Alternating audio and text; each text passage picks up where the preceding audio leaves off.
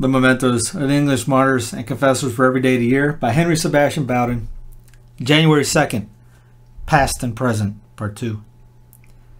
The time hath been, men would live chaste, and so could made that vows had passed.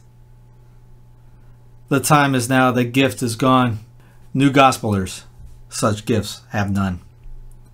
Sweet Jesu, with thy mother mild, sweet Virgin Mother, with thy child, angels and saints of each degree, redress our country's misery. The time hath been that saints could see, could hear and help our misery.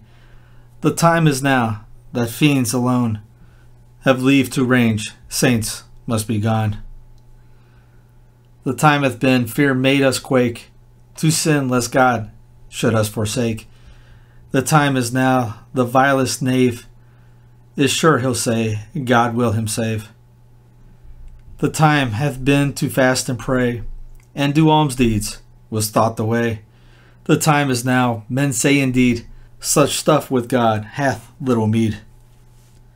The time hath been within this land, one's word as good as was his bond. The time is now, all men may see, new face hath killed old honesty.